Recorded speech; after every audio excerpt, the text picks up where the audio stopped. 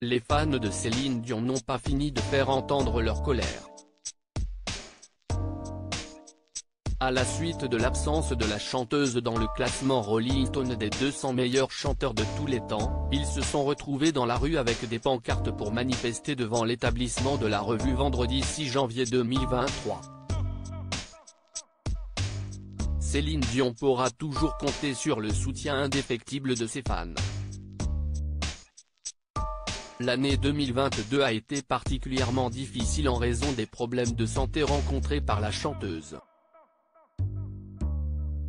La superstar québécoise a ainsi dû annuler sa tournée européenne prévue pour 2023 dans une vidéo remplie d'émotions sur Instagram.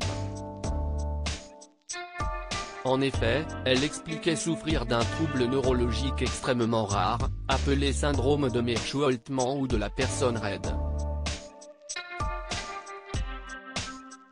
J'éprouve des problèmes de santé depuis longtemps et ce n'est pas facile pour moi d'y faire face, avait-elle ajouté.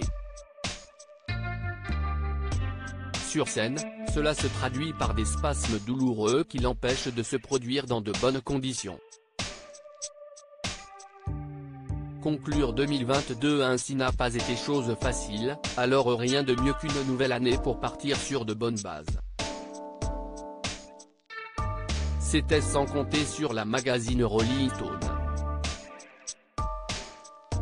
Elle est dans nos vies depuis le début le 1er janvier 2023, la revue américaine publiait un article très attendu.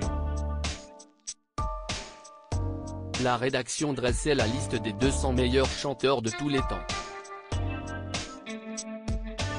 En top une figure Aretha Franklin, suivie par de nombreuses stars au style divers et varié comme Beyoncé et Ray Charles.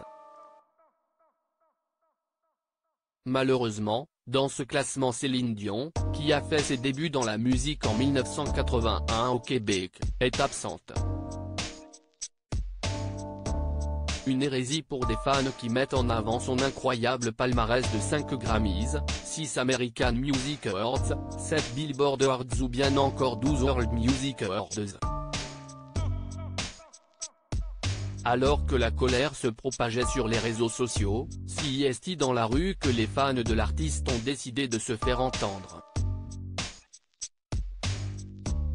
Une manifestation devant les locaux de Rolling Stone a été organisée vendredi 6 janvier 2023 par Laine Basbou, fondatrice de The Redheads, une boutique pour les fans.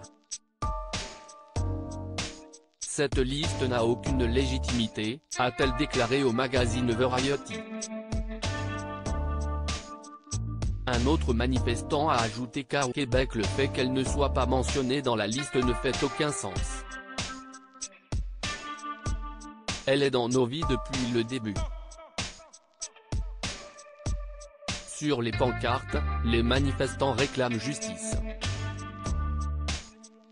Pour l'heure, Céline Dion n'a pas réagi.